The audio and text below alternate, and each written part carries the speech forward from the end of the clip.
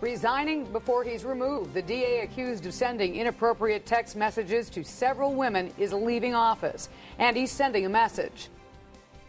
To get to this point and resign after saying he would not resign um, is a little disturbing. Now at 5, the reason Ken Kratz's lawyer believes Kratz changed his mind about leaving and the next steps in finding his replacement. Good evening, I'm Kathy Mykleby. And I'm Toya Washington. The embattled Calumet County District Attorney is waving the white flag. Ken Kratz plans to resign prior to a hearing seeking to remove him from office. 12 News reporter Nick Bohr was in Calumet County Court as Kratz's attorney made the surprising announcement.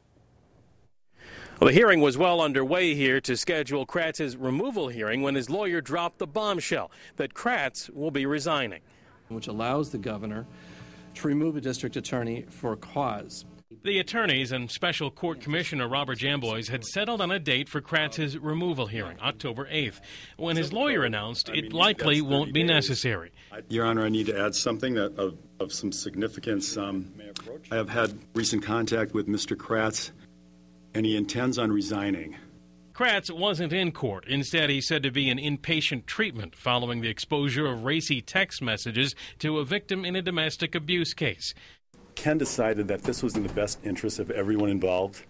Um, he also mentioned that the Calumet County people, residents, they need to move on. It's in their best interest, and that's really it.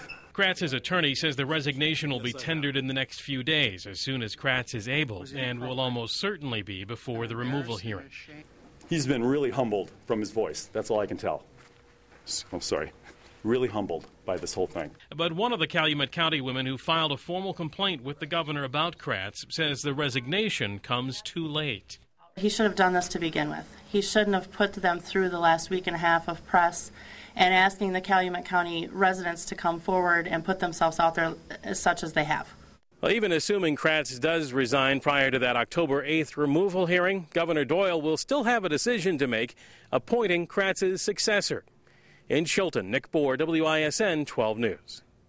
The Office of Lawyer Regulations investigation of Kratz is expected to continue regardless of Kratz's resignation as DA, unless he also decides to surrender his law license.